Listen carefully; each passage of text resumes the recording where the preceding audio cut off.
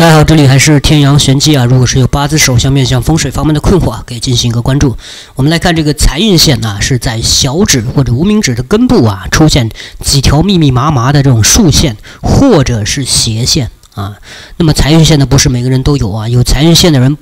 也不代表财运就一定的好。啊，要具这个视具体的情况而定啊。一般这个线条清晰笔直啊，财运线非常的有利，说明啊财运畅通啊。这类人呢，对财富的把握能力往往是比较敏感的，比较招财。在商业方面呢，也是有自己的建树。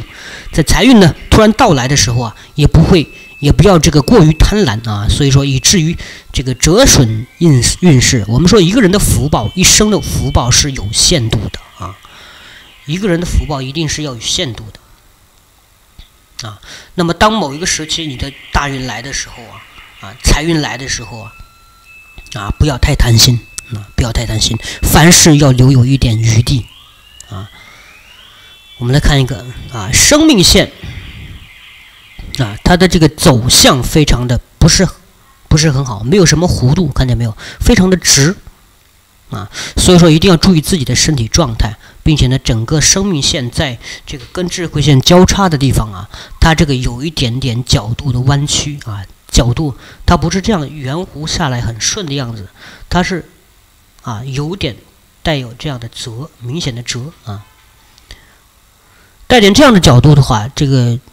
要注意意外之灾啊！如果是双手的事业线非常的长的话，你看这个事业线还是非常不错啊，而且非常这个笔直没有中断的话，说明事业运势还是不错的啊，还是不错的。跟手相当中的三大纹路啊交叉形成 M 字纹啊，M 字纹。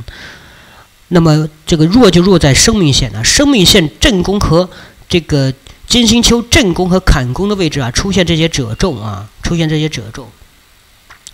这个就说明什么呢？在肠胃方面有一些小的疾病，这个需要注意啊，并且呢，日常生活当中啊，可能精力呢也不是很旺盛啊，容容易疲倦啊，容易疲倦，这个是需要注意的。生命线的内侧以及生命线的这个本身的状态预示着这一点啊，事业线还是不错的。我们看这个手掌啊，这个是典型的事业型的女人啊，性格上比较强势啊。那么甚至呢，有一些女强人的特质，而且呢，这个个性是有利于你的事业，利于财运的发展的，啊，完全可以拥有你自己的事业，经商创业都是符合你的命理的，啊，如果去上班为别人打工，就不符合你的这个，啊，这个整个命理和运势了，啊，但是现阶段运运势啊一般，啊，在这通过你的这个感情线来看的话，在婚姻的问题还是比较多的。啊，婚姻的问题比较多。你看，横切线干扰啊，并且有导纹，细小的导纹在初期阶段啊，所以说，呃，这个现在这个年纪是二十五岁啊，现在的这个阶段呢，还不是你的正缘啊，正缘在三十一二岁左右，正缘在慢慢到来啊，这是需要注意的一点。好了，整个手相这个女强人的手相就分享到这里啊，那么。那么这里呢还是天阳玄机啊，如果是有八字手相面向风水方面的困惑，可以进行一个关注。我们下期再见。